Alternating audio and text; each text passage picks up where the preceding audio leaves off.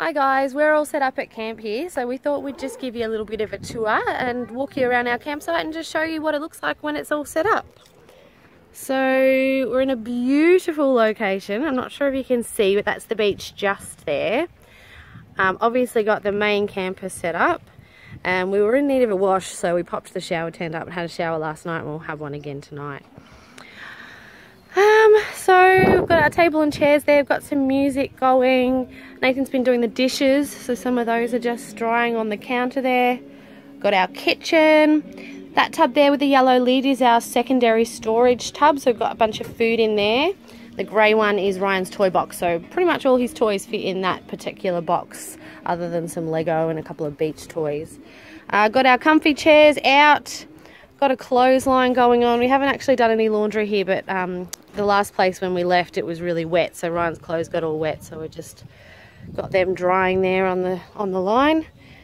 Got our main fridge, that's our fridge and freezer in there. Got our shade cloth up, not for the sun, for the wind. It's a really windy spot, um, so that's just helping keep the wind off the, the cooker when we're cooking dinner and stuff. Uh, kitchen has a bunch of storage, so we've got all our storage boxes in there as well, storage drawers I should say.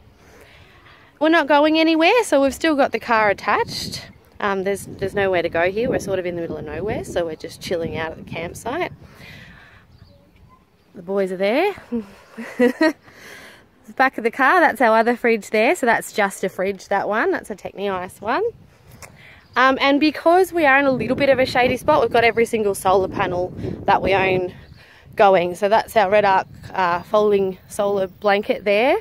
Um, there's the car with our lovely bull bar and spotlights going on. Um, we've still got the solar panels on the roof of the car, they stay there all the time. And then we've got another set of solar panels as well. So we're well and truly good for power, even though um, it's a bit of a shady spot, we should be absolutely fine. Um, we've got the tropical roof on there as well, you can see that up uh, as well. And out here, is the beach. So later on today we feel like a swim, we can pop down there and enjoy. There's no one else around so that's pretty much our own private space. And yeah, that's our campsite.